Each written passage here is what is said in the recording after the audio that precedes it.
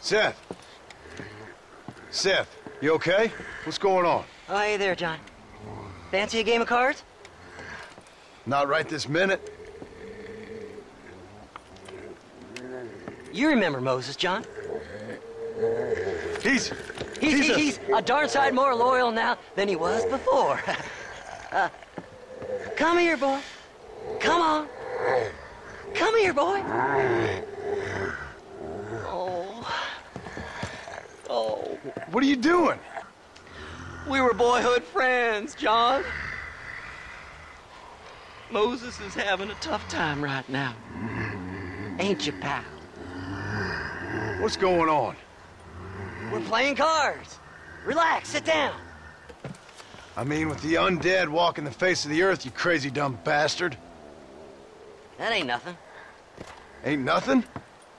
I seen husbands eating wives, mothers eating sons, graves popping open and the undead rising up. It sure as shit is something. Oh, boo-hoo! Big tough John Marston is scared of a little undead creature walking around. Moses wouldn't hurt a fly, would you, darling? Besides, this ain't nothing new. Folks in Blackwater blaming it on that glass eye you found. Folks! Folks! Folks! Damn them folks, John Marston! Damn them! And damn you! Get him! Get him, Moses! Get him! After all I've done for you, Seth. And I thought loyalty was important to you. You can't hurt me. Moses, get him. Go!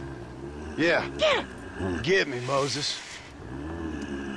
Looks like your dog's lost his bite, Seth. Now what the hell's going on? The dead have risen, and a virulent plague is turning people into flesh-eating crazies. What the hell you think's going on, genius? But why? But why? Why? Why? Why not? Why not? why the hell not? Because it ain't natural. Who made you Mother Nature and Mother Superior all at the same time? Who made you, John Marston? Same as made me, same as made Moses. Is there a cure? These things tend to fade away. Now, if you want to get rid of it, you should go clear the graveyards. Either that, or stop worrying and become one of them. Now, if you excuse us, we got good times to remember. Happy times. Okay. See you soon then, Seth.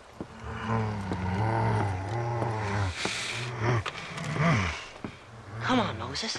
It's your deal. Diamonds are trumps.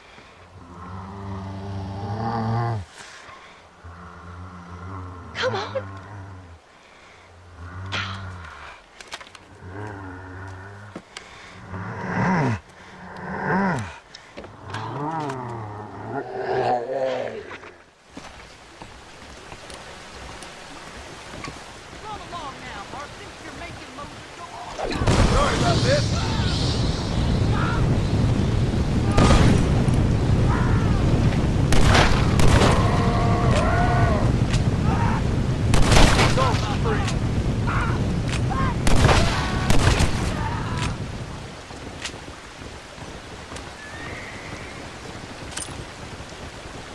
No time for standing on ceremony.